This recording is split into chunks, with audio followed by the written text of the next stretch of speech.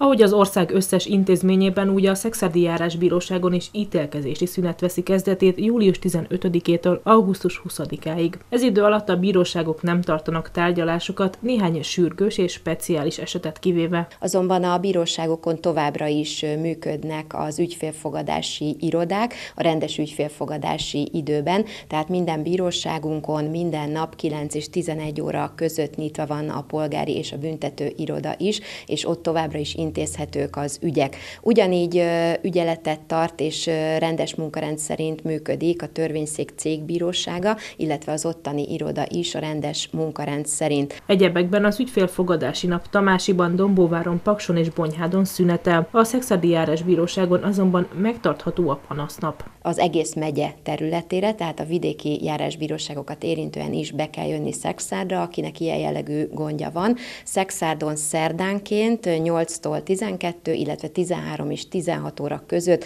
az ügyfél segítő napon jegyzőkönyvbe lehet mondani a kereseteket, kérelmeket, illetve a bírósághoz beadandó iratokat is. A törvénykezési szünetet követő első munkanap tehát augusztus 21-e hétfő lesz.